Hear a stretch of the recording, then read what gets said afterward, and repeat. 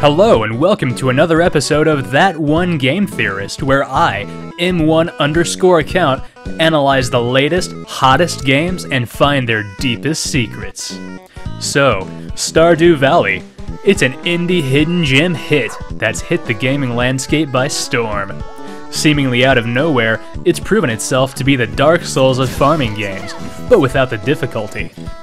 If you're living under a rock, you may be asking what's Stardew Valley? Stardew Valley is a farming simulation game for the PC, obviously taking heavy inspiration from such classic games as Harvest Moon and Stardew Valley.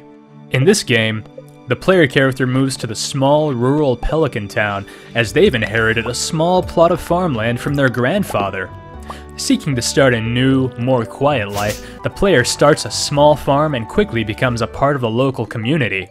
A major feature of the game is the 10 romanceable characters, these 10 characters each have their own realistic flaws, but are all quite a catch for a single modest farmer.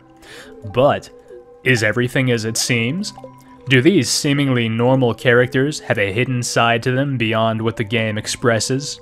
Turning my outstanding analytical skills toward a specific character who seemed quite suspicious to me, it quickly became clear that Stardew Valley not only has the deepest lore of any game to date, but the darkest. Sebastian, a seemingly normal emo youth. Introverted, a computer nerd, a lover of motorcycles, pool, and hater of omelets.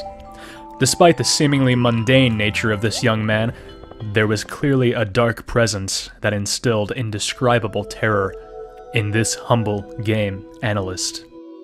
Racking my brain and exploring the game for clues, I struggled to find an explanation, but then, on the Stardew Valley wiki, I found this. These show how Sebastian's appearance changed throughout the development of the game. Notice anything? No hoodie. Hoodie. What's more, look. Stardew Valley's graphics may be relatively simplistic, but it's quite clear that this overworld sprite is wearing a short-sleeved shirt. Huh. you may not want to accept it, you may be too shocked, but no matter how you look at it, it must be true.